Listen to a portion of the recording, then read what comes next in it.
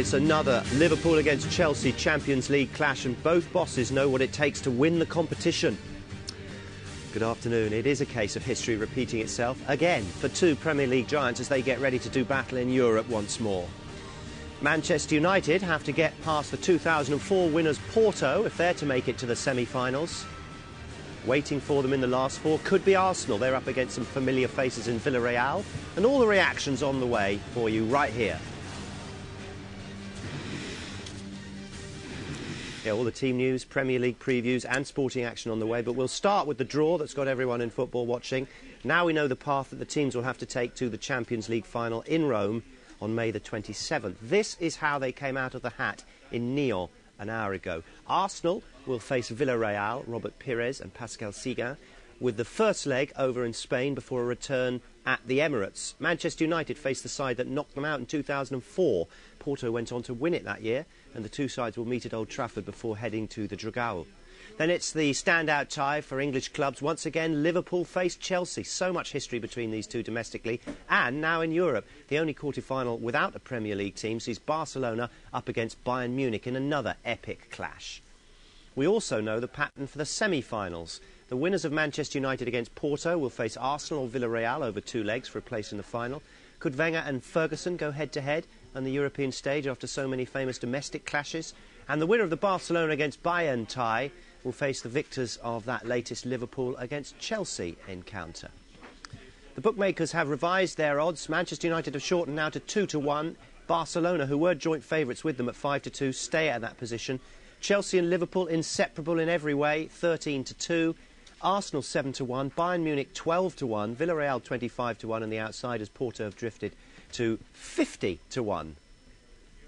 Let's get various reaction. First of all, the reaction for Chelsea, who of course are playing Liverpool. We played them at group stage, we played them at semi-final stage. There's not much really that we need to know about Liverpool that we don't already know. You know we probably know the inside leg measurements of Rafa's um, trousers, you know, to that extent.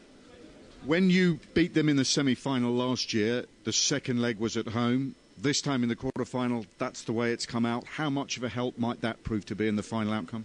I think in theory it should help us being away first. You know, we were successful last year in the semi-final, whereas previously in the previous semi-finals we were at Anfield for the second leg, and it looks like on all three occasions in the semis the the team that's away first has got through. So Liverpool and Chelsea, familiar foes in the Champions League. They've played each other eight times already, and there's precious little to separate the sides, with both winning twice, four draws. Traditionally, these encounters have been low-scoring affairs, with only ten goals in the eight games. I said all along, I think Liverpool over two legs can do anything. It's just incredible that it should be Chelsea again. After the amount of times that we've played each other, we know them. Chelsea are just coming into a bit of form. Um, and I just, if ideally, I would have liked it Liverpool away uh, leg first. I just think it's a it's an incredible draw, and I've got Liverpool versus Porto in the final.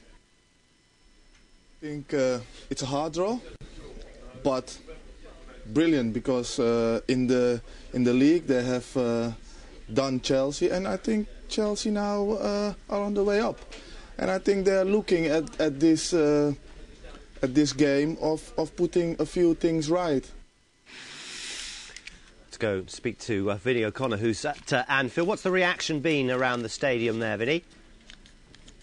Well, it's the 23rd time in five seasons that these two will meet in all competitions, and uh, naturally there's been a, a, big reaction around Liverpool today. When you look at Benitez's record against Chelsea, he saw off Jose Mourinho in the Champions League, didn't he? Avram Grant got the better of him last season. He saw off Phil Scolari in the league this season. Now he's got Guus Hiddink to contend with. It wasn't uh, only a few days ago that Johan Cruyff was saying that everybody wants to avoid Liverpool in this draw, and Liverpool fans are loving that kind of reputation, if you like, and that's why I suppose that we found Liverpool fans in confident mood this morning. It's meant to be, I suppose. You know, they, we just like beating them. we got to do. We got to get revenge for last year, I think. I prefer to be home for the second leg, you know. But uh, what can you do? We say like, it could be worse. Could have got United. Like, I wouldn't, wouldn't like them now away for the second leg, but you know, we're fine. It'd be nice to get someone like Villarreal or Porto, but um, I don't think it'd be an issue for them. We've got loads of confidence after what we did to Madrid. I don't think there's an issue with who we get, really. I'm confident we'll get to the final. And almost more importantly, Vinny, the fact that it won't be played on the anniversary of Hillsborough. How's that gone down? Well, that's gone down massively. I think there's a, a, big sense of relief about the city. Everyone knows just how important that date is to Liverpool Football Club.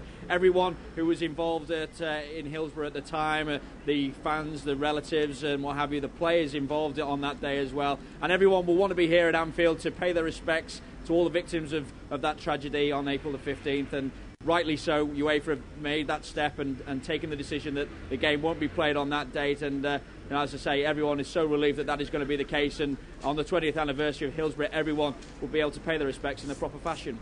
Thanks, Vinny. We'll get reaction from all around the country this afternoon. So it's Liverpool against Chelsea for the fifth season in a row in the Champions League. Let's hear from Rick Parry, who's the outgoing chief executive of Liverpool.